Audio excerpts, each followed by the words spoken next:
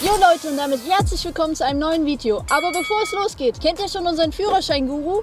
Er begleitet dich bei der Führerscheinausbildung, gibt dir praktische Tipps und echte Handlungsempfehlungen, wie du deine Fahrschule ganz easy meisterst. Sei nie wieder unvorbereitet für deine Fahrstunden und hol dir jetzt deinen Zugang. Erster Link in der Videobeschreibung. Mit dem Führerschein-Guru bestehst du zu 100% deine Prüfung. Und jetzt würde ich sagen, los geht's! Hallo, herzlich willkommen auf dem Kanal der Fischer Academy. Ich bin Marco. Wir zeigen euch heute den kompletten Ablauf der Abfahrtskontrolle Führerschein Klasse B. Wenn ihr Fragen habt, schreibt es in die Kommentare rein. Viel Spaß!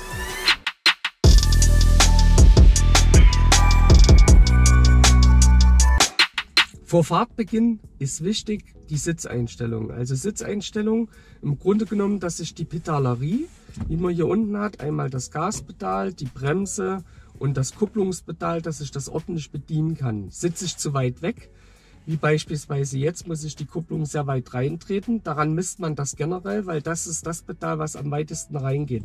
Bei Bremse und Gas geht nicht allzu weit rein. Das heißt, mein Bein muss noch leicht angewinkelt sein. Ich muss also noch ein Stück vor. Und wenn ich jetzt die Kupplung drehe, sieht man, mein Bein ist noch ganz leicht angewinkelt. Jetzt bin ich erstmal an den Pedalen nah genug. Jetzt habe ich natürlich noch weitere Hilfen und zwar die Lehne. Da habe ich hier an der Seite so einen Hebel. Wenn ich den jetzt rumlege, lässt sich die Lehne ganz frei bewegen. Jetzt darf die Lehne aber auch nicht so sein, dass das hier senkrecht ist, Irgendwann kriegt man Rückenschmerzen und das ist, glaube ich, auch nicht angenehm.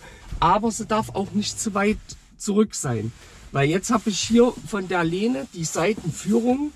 Ich würde so sitzen und würde bei Lenkbewegung aus dem Sitz rausfallen. Also diese Seitenwangen sollen schon mir helfen. Das heißt, auch die Kopfstütze würde hier nicht mehr greifen. Also nehme ich ganz einfach die Mitte. Die Lehne muss ungefähr so eingestellt sein. Jetzt bleibe ich in den Wangen drinne Nehme als nächstes die Kopfstütze und ziehe die so weit hoch, dass das mit meinem Kopf eine Linie ergibt. Habe ich die Kopfstütze zu weit oben, hilft die mir nicht. Beziehungsweise habe ich zu weit unten, hilft sie mir auch nicht. Da kann böse Verletzungen entstehen. Also Kopfstütze nicht unterschätzen, das einstellen. Wenn ich das jetzt getan habe, dass ich meiner Meinung nach ordentlich an die Pedalen rankomme, die Kopfstütze richtig eingestellt hat, kommt als nächstes das Lenkrad. Zum einen muss ich natürlich die Armaturen ordentlich sehen. Da darf nicht das Lenkrad im Weg sein, beziehungsweise das Lenkrad darf nicht zu weit weg sein, so wie es jetzt bei mir der Fall ist. Ganz gut kann man das messen. Man sagt, wenn man die Handgelenke aufs Lenkrad legt, sollen die Arme gestreckt sein. Ich muss mich, ich komme gar nicht richtig ran. Das heißt, ich habe einen Hebel hier unten, drücke den runter, ziehe das Lenkrad ein Stück raus, bis das diesen Wert entspricht richte mir das Lenkrad jetzt noch ein, dass ich ordentlich auf die Armaturen sehen kann und klappe den Hebel wieder hoch. So, als nächstes zur Fahrtvorbereitung gehört natürlich dazu, bevor wir überhaupt einen Meter fahren, ganz wichtig, Sicherheitsgurt. Ich nehme den Gurt, lege den so drüber, dass es einrastet, hörbar. Und dann darf im Grunde genommen der Gurt nicht am Hals liegen, aber einige machen auch, dass sie den Arm so oben drüber nehmen. Also das ist nicht, gestattet. Der Gurt muss genau so liegen, so wie bei mir. Und dann zieht er richtig fest, fest zu. Einmal im Becken und einmal geht er hier über die Schulter.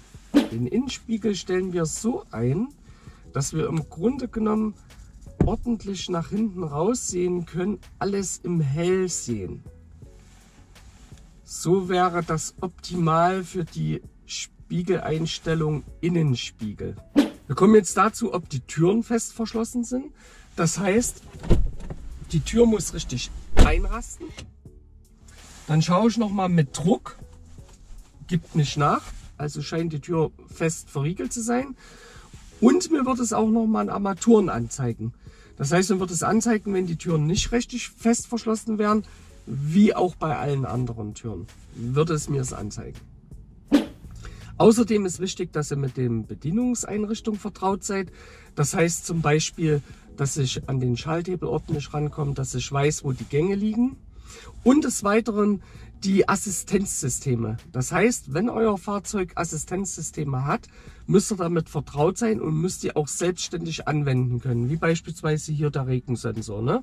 Ihr schaltet nur den Regensensor ein und man würde ihn hier wieder ausschalten. Falls es in der Fahrt anfängt mit Regnen, dann ist klar, müsst ihr das selbstständig bedienen können.